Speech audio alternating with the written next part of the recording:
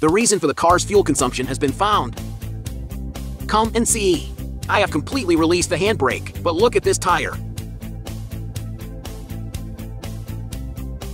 It spins with a lot of resistance. Today we will solve it. After learning to encounter this kind of problem, you don't have to go to the repair shop.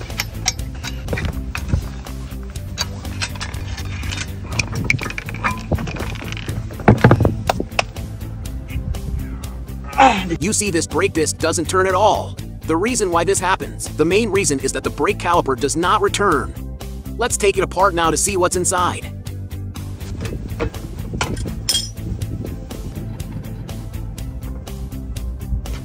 Wow, look, this guide pin is all rust inside.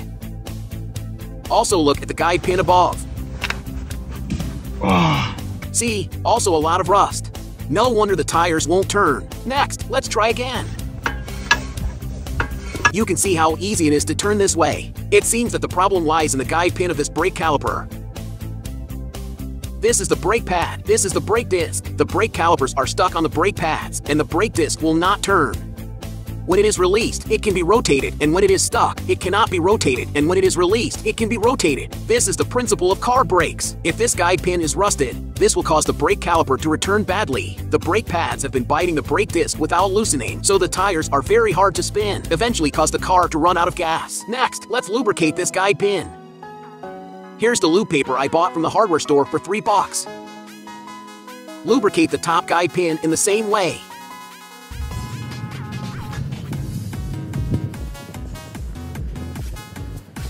Okay, let's install this caliper next. After lubricating the guide pin, the caliper can return normally.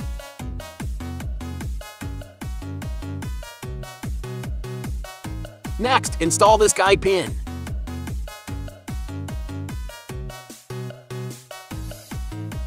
Okay. This brake caliper has been installed. Let's put the tire back in and try again.